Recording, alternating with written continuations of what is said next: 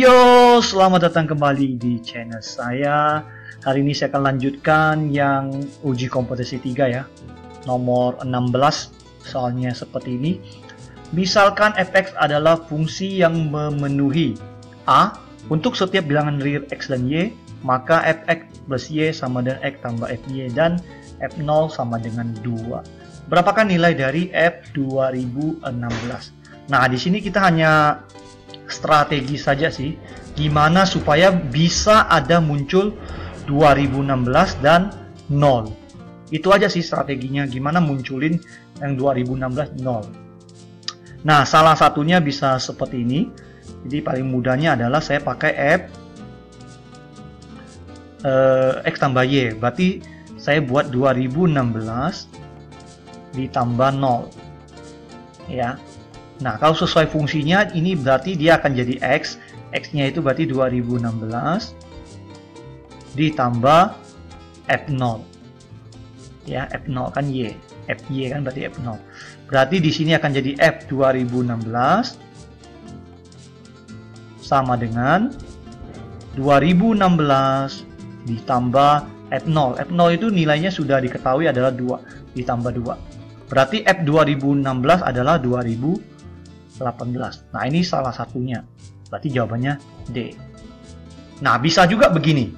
Kalau kalian tidak 2016 tambah 0, bisa aja kita buat di sininya 0.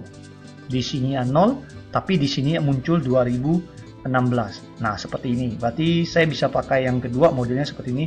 F min 2016 supaya jadi 0 berarti harus tambah 2016. Nah, kenapa milih 2016? Karena soalnya 2016 biar ada muncul 2016-nya. Berarti x x itu min 2016 ditambah f 2016. Nah, itu udah berarti udah mirip yang ditanyakan ya, udah sama. Min 2016 tambah 2016 berarti akan sama dengan F0. Berarti F0 itu sama dengan min 2016 ditambah F 2016. 16 ya. Nah, di sini kita tinggal masukkan aja nilai F0.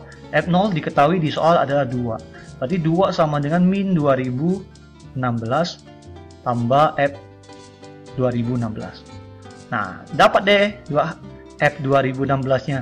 Jadi F 2016-nya 2016 sama dengan ya min pindah 2 tambah. Berarti 2 tambah 2016 alias 2018. Nah, ini jadi ada dua alternatif.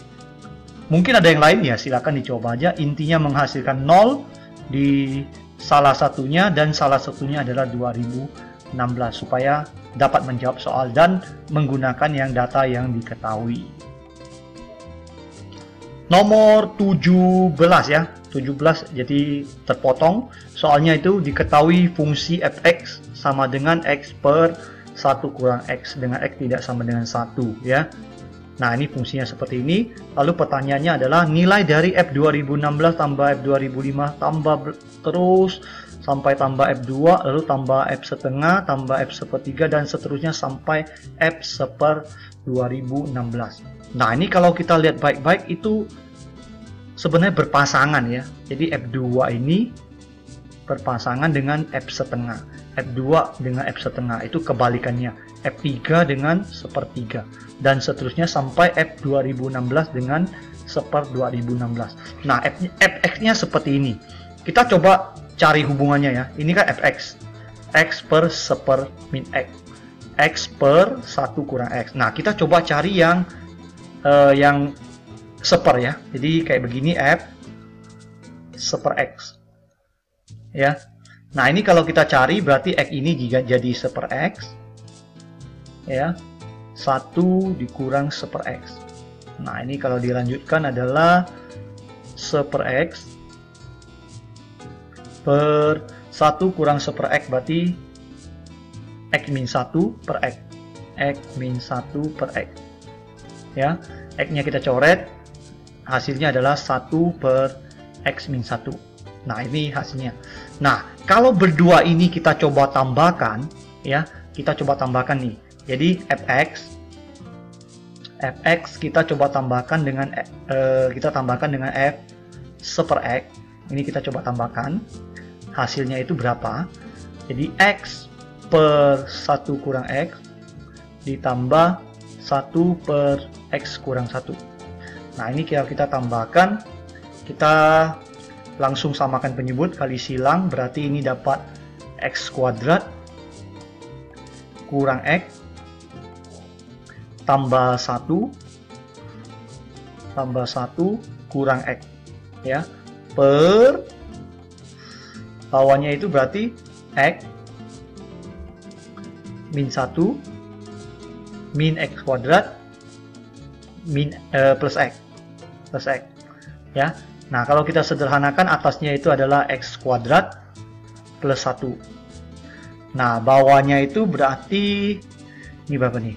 Ini X 2X ya min X kuadrat tambah min x kuadrat. Oh ini min 2x salah. Min 2x min 2x plus 1 nah bawahnya itu kalau dihitung min x kuadrat plus 2x min 1 nah ini kan sama. Kalau dibagi nilainya adalah negatif 1 jadi ternyata kalau kita jumlahkan kedua pasangan ini, F2 dengan F setengah, itu nilainya adalah min 1. Jadi kalau kita buat F2, jadi F2 ditambah dengan F setengah, ya, sesuai hubungan tadi itu kita cari nilainya adalah min 1. Ya. Berarti juga sama F3 ditambahkan dengan F sepertiga itu juga min 1. Berarti tiap pasangan ini adalah min 1, ini min 1, ini min 1. Nah, kita tinggal hitung aja ada berapa banyak pasangan. Dari 2 menjadi 2016. 2 menjadi 2016, berarti 2016 kurang 2 tambah 1, berarti 2015. Jadi ada negatif ada 2015 pasang ya. Ada 2015 pasang. Ada 2015 pasang. Jadi kalau dijumlahkan semua ini kan min 1. Ini min 1, ini min 1, ini min 1, min 1. Jadi kalau ini kita lanjutkan terus sampai F 2016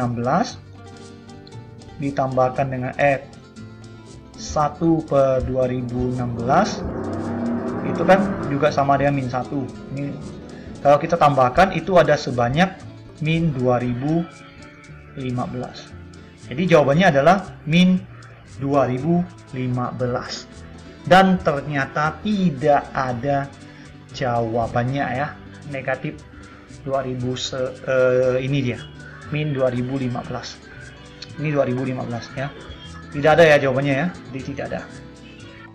Nomor 18 untuk setiap bilangan bulat X didefinisikan fungsi F dengan fx adalah banyak angka atau digit dari X.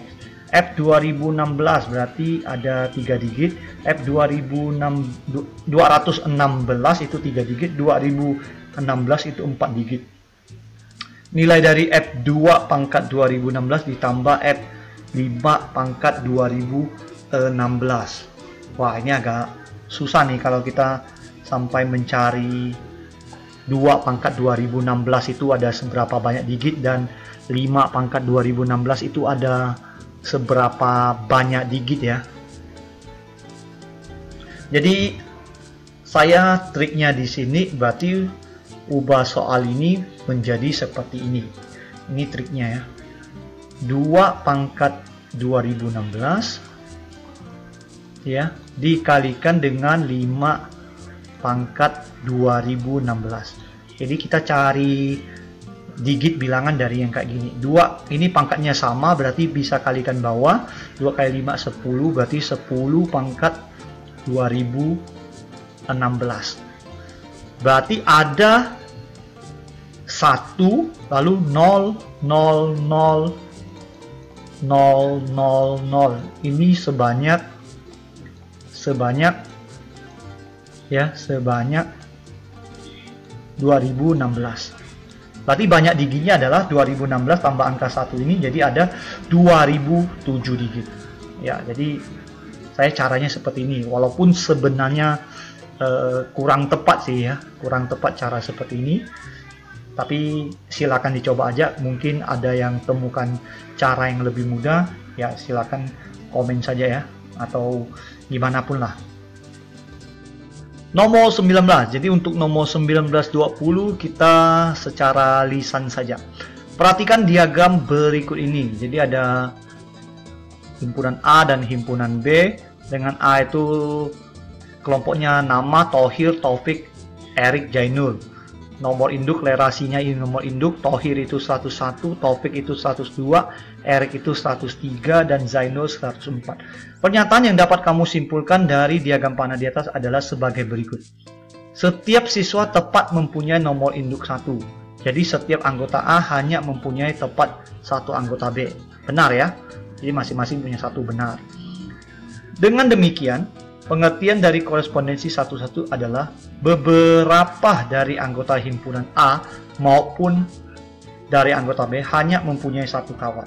Nggak bisa, nggak boleh beberapa. Jadi dia harus semuanya punya pasangan dan pasangnya tepat satu. Jadi yang B itu masih belum tepat salah ya. Jadi yang benar satu. Tiga, setiap siswa bisa mempunyai nomor induk lebih dari satu. Jadi setiap anggota A bisa mempunyai lebih dari satu anggota B. Jelas tidak? Karena korespondensi satu satu dia harus tepat satu nomor induk ya satu buah kalau nomor induk bisa dimiliki oleh orang lain jadi nanti susah ya bingung pula jadi dua tiga salah berarti kemungkinan besar jawabannya adalah satu dan empat dengan demikian pengertian dari korespondensi satu-satu adalah setiap dari anggota himpunan A maupun dari anggota B hanya mempunyai satu kawan. Nah ini benar. Berarti yang benar adalah satu dan empat. Kita tinggal cek pilihan gandanya. Pernyataan yang benar dari simpulan di atas adalah 1 dan 4, berarti C. Oke ya, jelas ya. Dan yang terakhir adalah nomor 20 untuk soal pilihan ganda. Jika himpunan X 2, 3, 5, 7, 11, Y, A, B, C, D, E, banyak korespondensi satu-satu yang mungkin terjadi adalah titik-titik. Ini jumlah anggotanya 5, ini jumlah anggotanya 5, berarti bisa bisa terjadi korespondensi. Dengan banyak korespondensi yang terjadi adalah 5 faktorial, 5 tanda seru. 5 tanda seru itu berarti 5 kali 4 kali 3 kali 2 kali 1. 5 kali 4 kali 3 kali 2 kali 1. 5 kali 4 20. 20 kali 3 60. 60 kali 2 120. Berarti jawabannya 120B ya. Ini yang B. Oke, sisanya itu sudah esai saya rasa yang esai seperti ini bisa kalian lanjutkan sendiri